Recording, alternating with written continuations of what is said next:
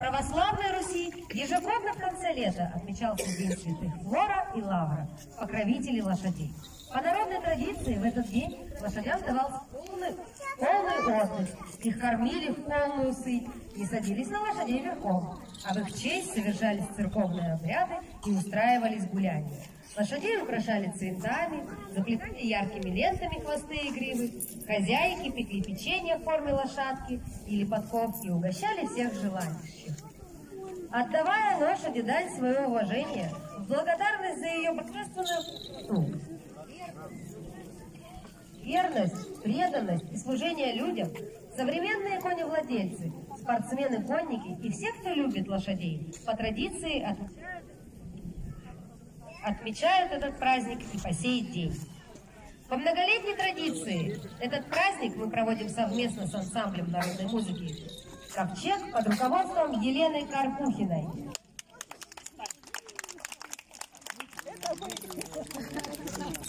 Лёчки, все лазуревые цветочки, ой,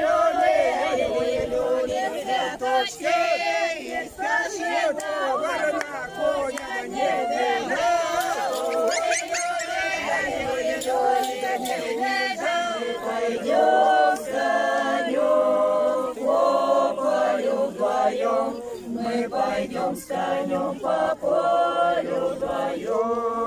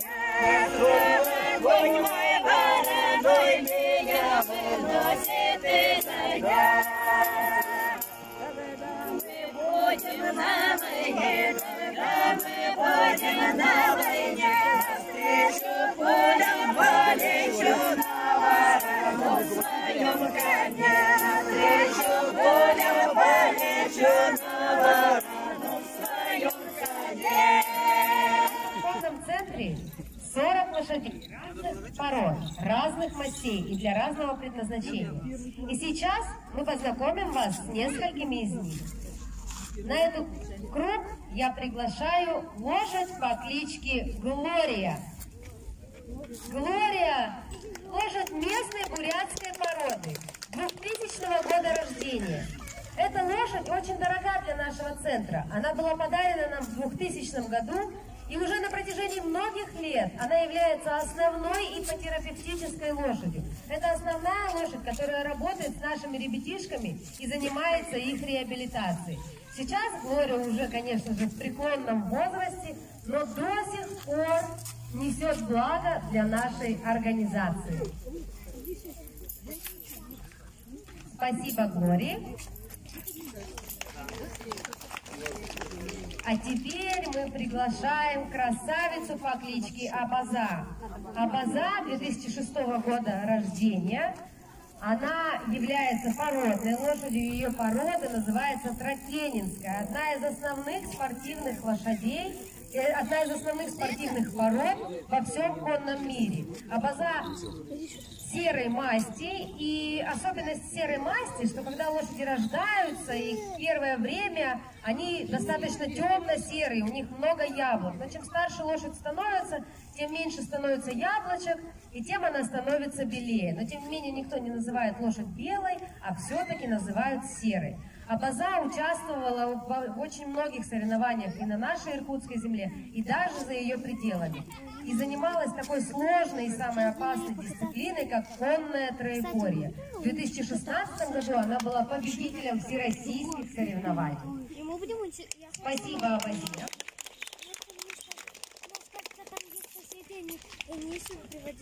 А мы приглашаем на этот круг лошадь по кличке Стажер.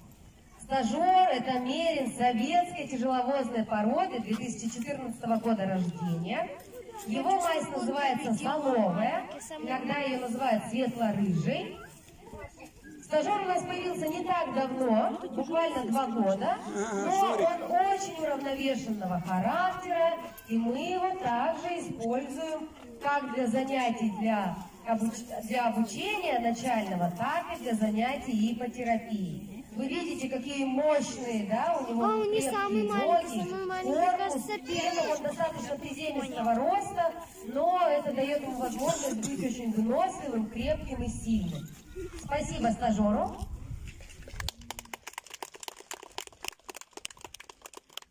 А мы приглашаем на круг лошадь по кличке Концерс. Концерс – это частная лошадь, у, нее есть, у него есть владелица. Владелица его Наталья Филитович. Концерс к нам приехал тоже не так давно, с Москвы. А вообще Концерс латвийский мерин гнедой пород, гнедой масти 2011 года.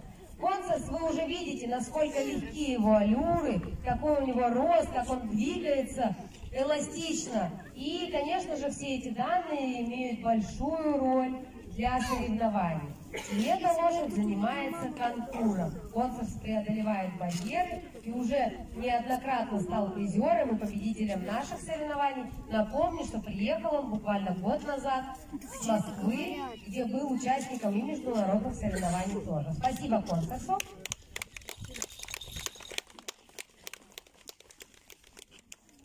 А на круг мы приглашаем очень важную лошадь для нашего центра многих отношениях. Это Орловский мерин Фебос. Эта порода создана у нас в России графом Орловым, очень известным. Эта порода ценится во всем мире. Но на самом деле эта порода совершенно не предназначена для спортивных результатов. Но тем не менее, когда Фебоса нам подарили в далеком 2011 году, совершенно случайно он был в работу отдан нашему основному войсковому всаднику, и Фебос на протяжении уже многих лет является лучшей лошадью в Сибири по такой дисциплине, как выездка. Посмотрите, какие у него тоже эластичные движения, насколько он прекрасен собой.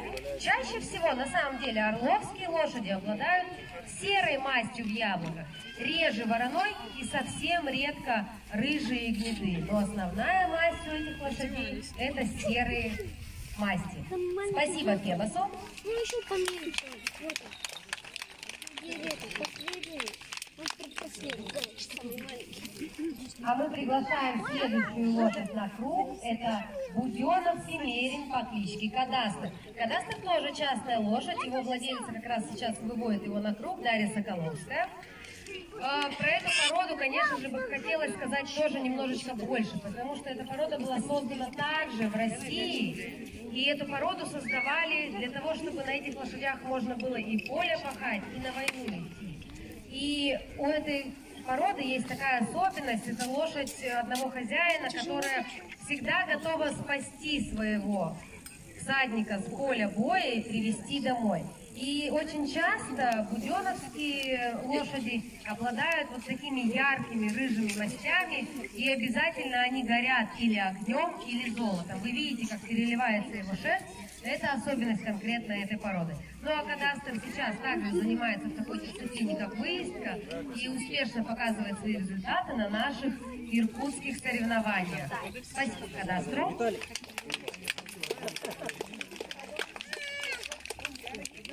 А мы на этот круг приглашаем лошадь по кличке Кашемир Джи.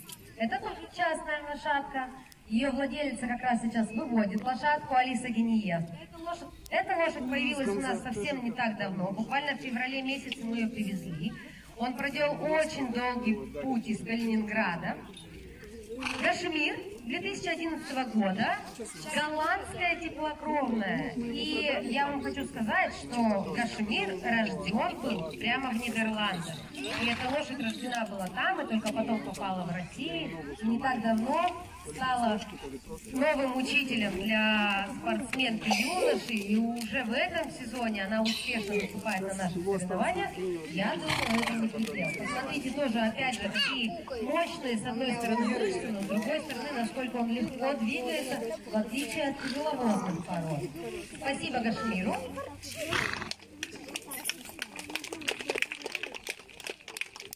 Мы с вами приглашаем в этот круг очень утонченную лошадку. Вы сейчас все сразу же заметите это.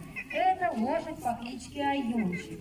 Аюнчи 2002 года рождения. Она уже в таком достаточно преклонном возрасте. И вот от того, что она такая стройненькая и худенькая, это совсем не потому, что ее плохо кормят. А представительница одной из самых древнейших пород. Она ахалтыкинская лошадь. И этой породе больше 50 лет. И, конечно же, выращивались они в условиях жесткой пустыни, туркменских Туркмении и стран Восточной Азии. И, конечно же, они не могли обладать мощной жировой прослойкой. И как раз фраза «лошадь одного хозяина» произошла именно от этой породы. Есть такая легенда, что чтобы приучить лошадь к своему хозяину, жеребенка очень рано отлучали от матери, садили в яму, и каждый, кто проходил мимо, кидал в него камень, и только хозяин приходил, ласкал его и кормил. Таким образом эволюция за много-много тысяч лет выработалась, что эта лошадь без своего хозяина никогда не покинет поле боя. Спасибо, Аюче. А мы приглашаем сюда лошадь по кличке Маркиз. Тоже частная лошадь, его владелица Елена Ильичева как раз сейчас выводит к нам его на торговый круг. Маркиз 2006 года рождения, и он представитель породы французский першион. Он заметно похож на стажера своими да, крупными габаритами, приземистым ростом, но это тяжеловозная порода из Франции. Посмотрите, какая у маркиза прекрасная грива. Я вас уверяю, хозяйка каждый день вынуждена заплетать эту гриву, чтобы она могла сохраниться в таком виде. И, по-моему, один раз в год она позволяет себе расплести ее и показать эту красоту вам. Маркиз э, случайно попал к нам и был куплен в цирке. И совсем случайно оказалось, что он обладает чудесным характером. И теперь он является лошадью для паралимпийской выезды, для спортсменов адаптивного конного спорта. И его основной спортсмен был уже не раз призером наших местных соревнований, даже соревнований Сибирского федерального округа. Спасибо Маркизу.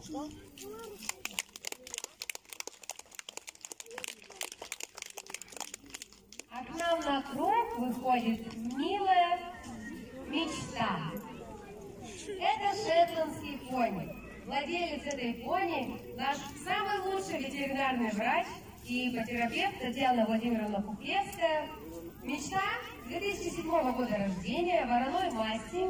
Посмотрите, как она заметно отличается от наших больших лошадок, но при этом, несмотря на то, что пони не самые приятные по характеру, и вообще говорят, что у них комплекс Наполеона, тем не менее мечта обладает изумительным характером. Ее любят многие дети в нашем центре, и она всегда готова всех прокатить, готова всегда для угощений, ну и, конечно же, очень приятно глазу.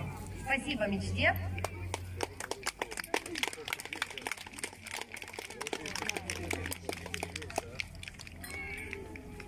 Мы приглашаем на этот круг самую старшую лошадь в нашем конном центре. Кобыла по кличке Таврия. Таврия 1996 года рождения.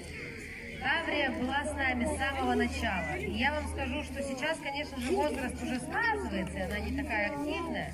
Но раньше, когда ей было 3-4 года, и она еще не принадлежала нам, она участвовала в скачках на Иркутском ипподроме. И она выходила наравне с английскими чистокровными лошадьми скакунами. И она так бегала по всему стартовому полю, что все боялись, что она всех выиграет. И когда давали старт, она неслась бешеным галопом и на старте делала всех английских чистокровных скакунов. Но, конечно же, потом поро- порода брала свое, и финишировала она всегда последней. Но каждый раз она была уверена, что она победит. Ну а сейчас Таврия у нас уже работает с начинающими всадниками, но долгое время была одной из основных спортивных лошадей для наших начинающих спортсменов. Ну и, конечно же, сейчас у нее пенсия и совсем немножечко работы. Но мы ее очень ценим и любим. И я напоминаю, Таврия 1996 года рождения. Таврии 25 лет. Спасибо, Таврия.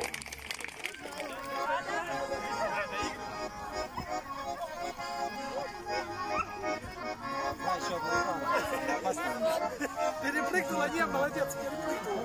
Танцевал